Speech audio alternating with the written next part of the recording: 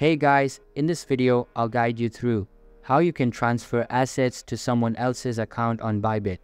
Alright, so let's begin with the video. First of all, open the Bybit app and make sure it is updated to latest version available. After that, sign into your account and you will be redirected to home page. Here, tap on assets located at the bottom right corner of the home page. This will take you to your overall assets overview. Within the assets page, you have two primary ways to initiate the transfer.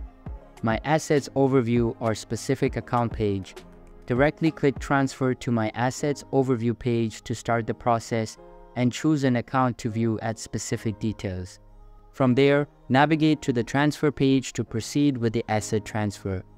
On the transfer page, select the accounts for the transfer, and you also might need to choose the coin type if necessary.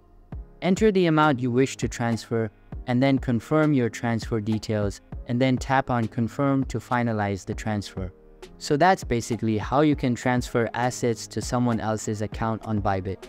So that's all for this video. If you find it helpful, consider subscribing and giving this big thumbs up. And I'll catch you in the next one. Thanks.